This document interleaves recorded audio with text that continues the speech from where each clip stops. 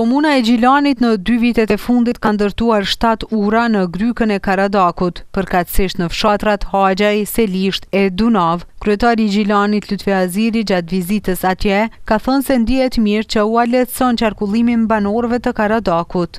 Komplet Grykën e Karadakut janë ndërtu shtatë ura. Do të vazhdojmë me rindërtu tash infrastrukturën pas hapjes vendkalimit Stanqiq-Bellanovc. cili është korridor ndërkombëtar mes Kosovës edhe edhe Maqedonisë, respektivisht Gjilan Kumanovë. Përveç kësaj shkolla e Haxhajve ka qenë gjendje t'ronë, është rindërtu e re dhe do të vazhdojmë me qenë afër çdo familje dhe çdo qytetari që kanë nevojë. Falë punës së madhe që e bojnë njerëz, shembul të mirë që, që janë kryefamiljarë, po edhe bashkatdhetarët tonë. është zonë që tradicionalisht është në gurbet dhe, dhe roli i tyre në zhvillim e ndërtim edhe sot e gjithmonë ka qenë i jashtëzakonisht i madh dhe i vlerësum.